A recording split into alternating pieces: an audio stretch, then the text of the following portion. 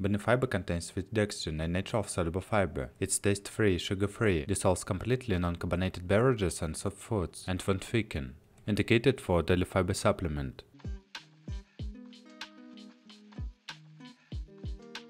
How to use. For ages 12 and above, stir 2 teaspoons of Benefiber Original into 4 to 8 ounces of beverage or of food, hot or cold, 3 times daily. Stir well until dissolved up to 60 seconds, not recommended for carbonated beverages. For ages 6 to 11, use half the recommended dose. For under 6 years or if you are pregnant or nursing a baby, ask a healthcare professional before use. You can mix Benefiber powder into any hot or cold beverage such as water, coffee or juice, into soft food such as apple sauce, pudding or yogurt. Or cook with it in recipes for such foods such as muffins, sauces or soups, and it won't affect the taste or consistency. Benefiber powder is not recommended for carbonated beverages.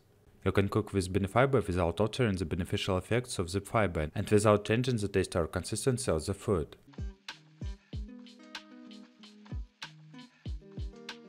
Contraindications Allergy or intolerance to ingredients. Some products may contain aspartame or phenylalanine.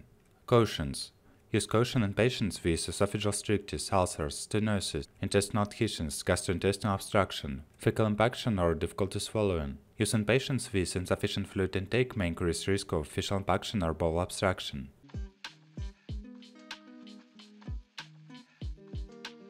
Special instructions. Insufficient fiber in the diet can lead to constipation, which may result in the development of hemorrhoids and anal fissures. Increased fiber intake has been shown to reduce constipation by softening the stool and increasing the regularity of bowel movements. Soluble fibers such as benefiber is easier to incorporate into your diet as it is tasteless and can be mixed with food or drink.